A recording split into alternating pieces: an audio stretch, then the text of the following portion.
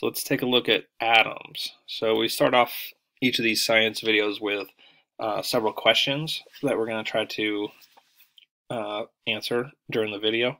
So uh, ionic and covalent bonding, being familiar with that.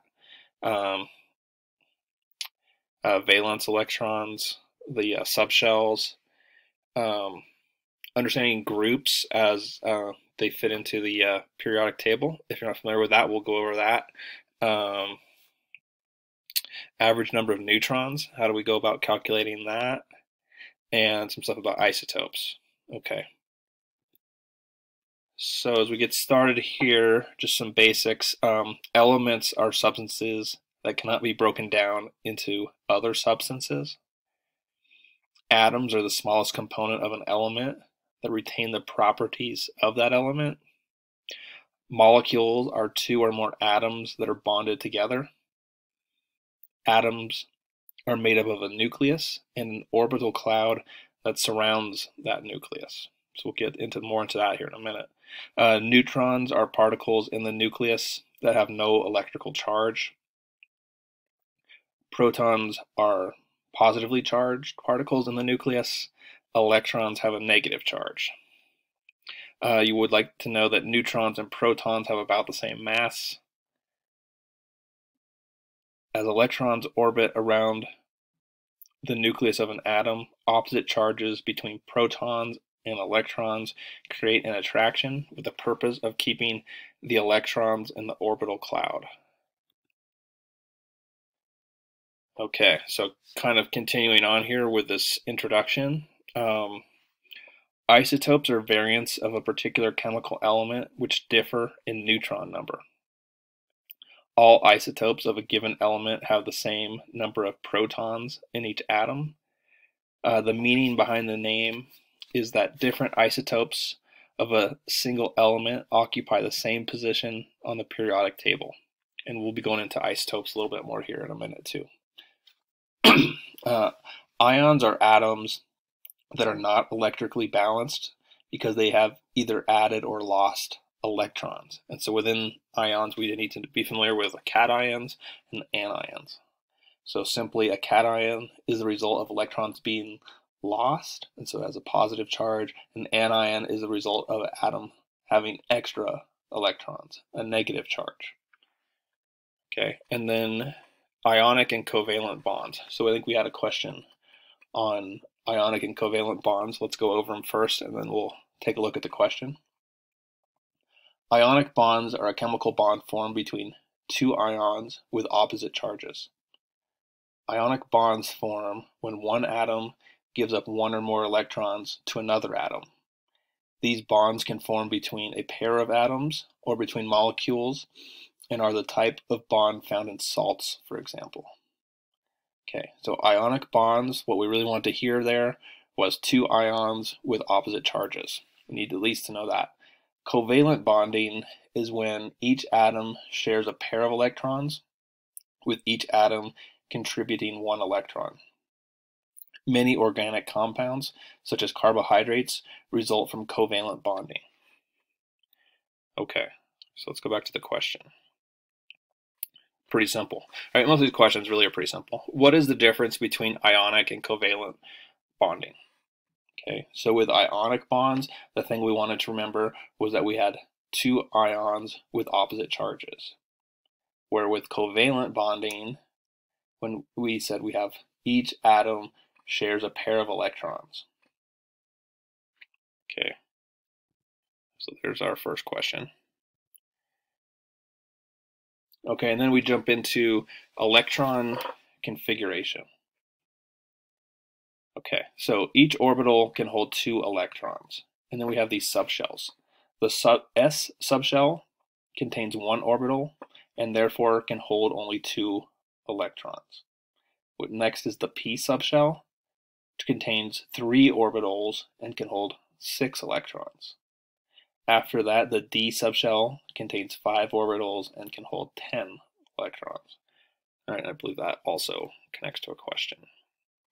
Right, so on that third bullet point, we see the p subshell contains blank orbitals. right? And We want to know that the p subshell contains three orbitals and therefore can hold six electrons. Remembering that it's two electrons per orbital.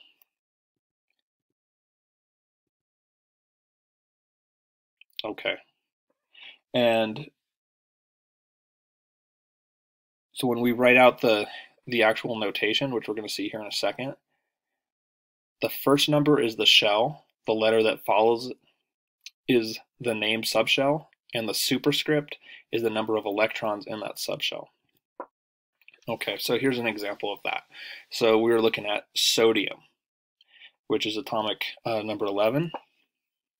And because so because of that, we if it's number 11, then we know that it has 11 electrons, right?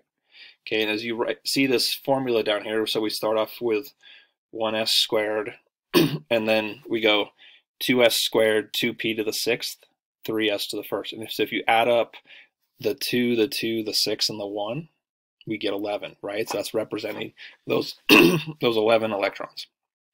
Okay, and then we'll go here even more specifically into an example, a different example.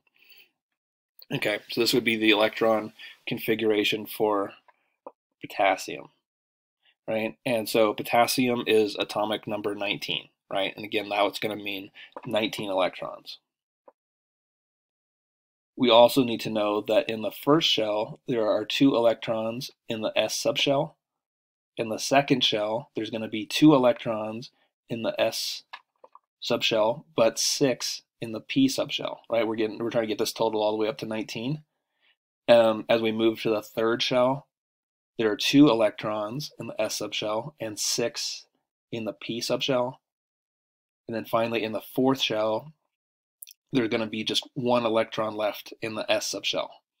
When we write the notation, the first number is the shell, the letter that follows is the name subshell, and the superscript is the number of electrons in that subshell.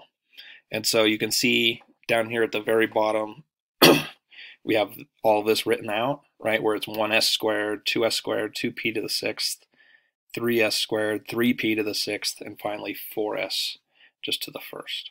Okay, and if you add up all those uh, all those superscripts with the 2, the 2, the 6, which gets us to 10. The 2 gets us to 12. That 6 gets us to 18. And then finally the 1, where it's 4s to the first, that 1 gets us to 19 electrons. Okay, and then let's move on to uh, valence electrons. Okay, so the electrons in the outermost shell are called the valence electrons. These electrons are crucial to forming bonds with other atoms in chemical reactions. Most atoms want a valence of 8 electrons, and this is known as the octet rule. Exceptions to the octet rule are helium, which has a full valence of 2 electrons, and hydrogen, which has 1 electron in its valence shell. Okay, so let's look, I believe we have a question on valence electrons. Right? So most atoms want a valence of blank electrons, right? And so that answer is 8. And again, that's known as the octet rule. If the outer shell is exactly at its full capacity of electrons, the atom is stable and will not react easily.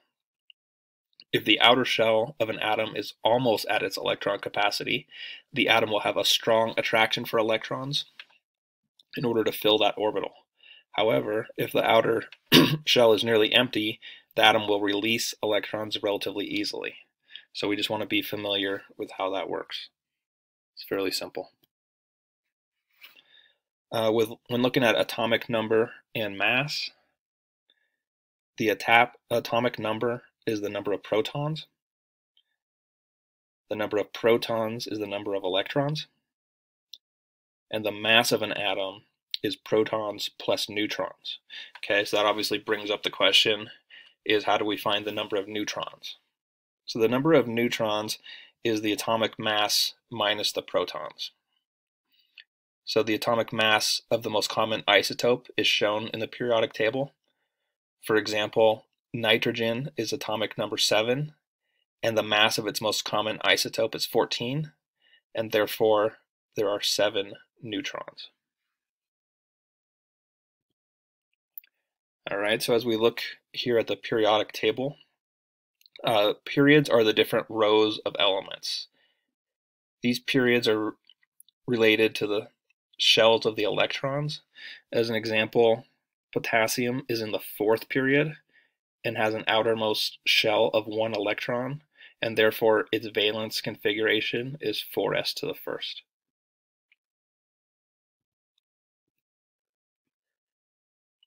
The different columns are called groups. An element in a group, all elements in a group need the same number of electrons to compete, complete their outer shell. Therefore, they have similar properties. For example, all the elements in the far left column are metals and have just one electron in its valence shell and lose electrons with relative ease. So I think we have a question uh, groups here, not metal groups specifically. Um, yes, the fourth bullet point. What group are all metals in? What properties do metals share? And as we just said, all the elements in the far left column, let's go back to the uh, periodic table. All elements in the far left column are metals and have just one electron in its valence shell, and therefore all of those metals lose electrons with relative ease. On this periodic table, the higher the group number, the stronger the attraction for electrons. So fluorine, which is in group 17, is just one electron short of a complete shell. Therefore, fluorine has a strong attraction for electrons. Group 18, which is the furthest column to the right, are noble gases. So their outer shells are completely full. They react with other elements only under extreme conditions. And then we also want to get to uh, how do we estimate the number of isotopes, which is also a question for us. And so when we're trying to estimate the number of isotopes, just look at the atomic mass. If it's a decimal, such as 79.9, which is the atomic mass of bromine, then that number is averaged from more than one isotope. If we see an integer, which would be like a whole number, such as 19.0, then it's fair to assume that it comes from just one isotope. And so you can see that that was our last bullet point there. What information can you use to, to estimate the number of isotopes for a given element? And that's what we just said, is that you're looking at, is it a decimal or is it an integer? And that will give you uh, enough information to estimate. All right, so that gets us to the end of this video. We have we've gone through these six questions and answered them. Great thing to do now. Hit that pause button. Try to answer all these questions yourself. If you get stuck, go back in, the video and uh, you can find the answer.